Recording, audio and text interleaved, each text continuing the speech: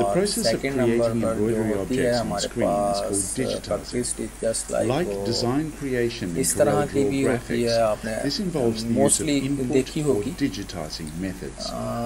In this video, we look at creating an embroidered badge using a variety of input tools available in Embroidery Studio. Setting up.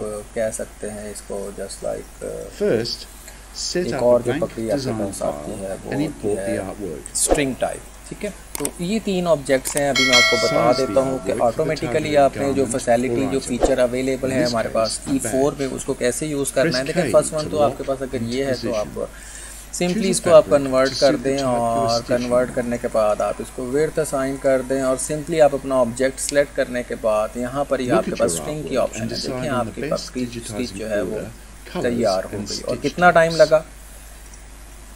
I think बहुत ही कम लगा। तो यहाँ से आप इसकी जो है वो स्टिच लेंथ वगैरह लाइक ज़्यादा कर सकते हैं। जस्ट लाइक ये देखें लाइक यहाँ पर मैं इसको 90 अगर कर देता हूँ तो ये 90 हो गई। और इसी तरह से लाइक अगर आप स्टिच इसमें कुछ ज़्यादा करना चाहते हैं लाइक ज़्यादा करना चाहते हैं तो यहाँ पर फिगर कम होगी। देखें काफ़ी गहरे हो गए ये स्टिचेस और अगर लाइक आप इसको लाइटर बनाना चाहते हैं तो आप यहाँ पर 1.50 अप्लाई करते हैं तो ये देखें स्टिचेस थोड़े से लाइट हो गए। तो ये डिपेंड करता है आपके ऑब्जेक्ट पर किस तरह का आपका ऑब्जेक्ट है और सेम लाइक अगर लाइक मैं इसको कहता हूँ. अ, मुझे ये ऑब्जेक्ट जो है डिजिटाइज करना है समथिंग लाइक इस तरह से। और इसको और इसको मैं जो है अलाइन कर देता हूँ। इस तरह का ऑब्जेक्ट आपने बहुत देखे होंगे डेफिनेटली सॉरी तो आप जो है the logo shape. इसको ऐसे मैं आपको आपने बहुत से ऑब्जेक्ट्स डिफरेंट डिज़ाइंस में देखे होंगे। लाइक like, जिसमें आपका मोटिव कुछ इस तरह से नज़र आ रहा होगा। तो ये चीज़ होती है। ठीक है एक तो ये कंप्लीट हो गया। अच्छा सेकंड नंबर पर जो है अगर आपने मेन राउंड में बनानी है तो डेफिनेटली आप राउंड में भी बना सकते हैं। जस्ट लाइक सॉरी इसको आप कन्वर्ट कर लेंगे। किसी भी उसमें रन में कर लें या इनपुट सी में कर लें बी में कर लें जिसमें आपको कन्वीनियंट लगे आप उसमें कर लें। करने के बाद सिंपल यहाँ पर आप uh, इसको प्रेस कर दें लाइक. ये देखिए। है साइज़ मैंने थोड़ा बड़ा कर दिया है और ये भी आपने बहुत देखी होगी इस तरह की भी। तो ऐसे आप स्ट्रिंग क्रिएट कर सकते हैं और अगर आपको लाइक इसकी भी स्टिचेस लेंथ जो है वो लाइक ये वाली लेंथ जो है विड्थ इसकी अगर इसको कम करना हो तो यहाँ से आप फिगर कम करेंगे तो ये स्मॉलर हो जाएगी। अगर लाइक आपने इसको एक्सटेंड करके ज़्यादा करना चाहते हैं या आप यहाँ से फिगर इसकी चेंज कर दें तो ये देखें ये आपका सर्कल ज़्यादा outer circle लेट्स सपोज़ मुझे यहाँ पर resequencing. 10 mm चाहिए तो मैं 10 mm जो है वो ले लेता हूँ और. जस्ट लाइक इसको भी मैं कन्वर्ट कर देता हूँ ऐसे और इसको येलो. कलर साइन करके हम इसको ऐसे कर देते हैं और इसको इसका हम सेंटर जनरेट कर देते हैं जस्ट लाइक ये देखें इस तरह का ऑब्जेक्ट भी आपने देखा होगा आप चाहें तो इसको बड़ा कर लें ताकि ओवरलैपिंग आ जाए और थर्ड आपके पास जो होती है वो समथिंग लाइक किस तरह की आपको कहूँ आप इस तरह की समझ लें Using the closed shape tool, तो digitize the inner shield इसको भी with कर tatami सकते हैं। stitch. लाइक इसको भी मैं कन्वर्ट कर देता हूँ और इजी रहेगा आपको समझाना।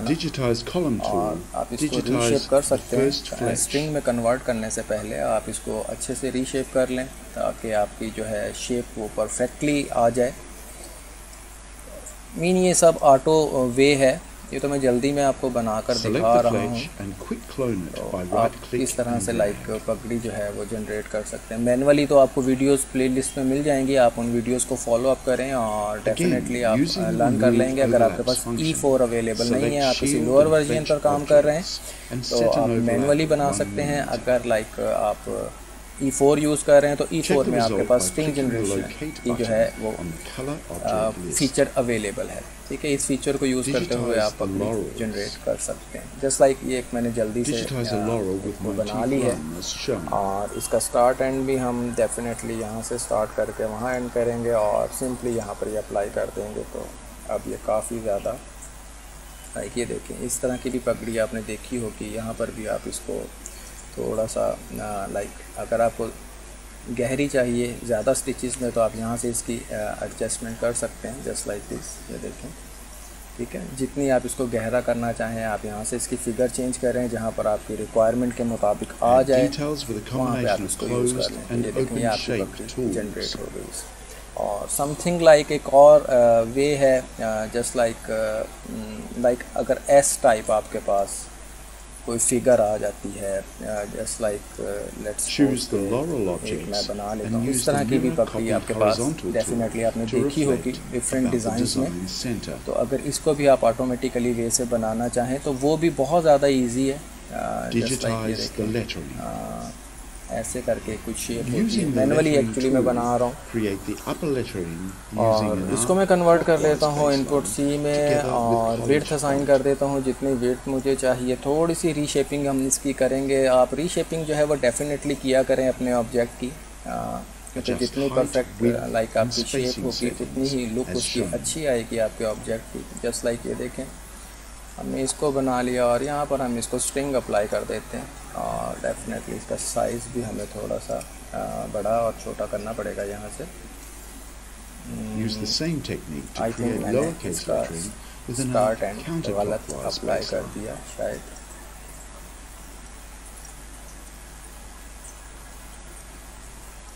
ऐसे।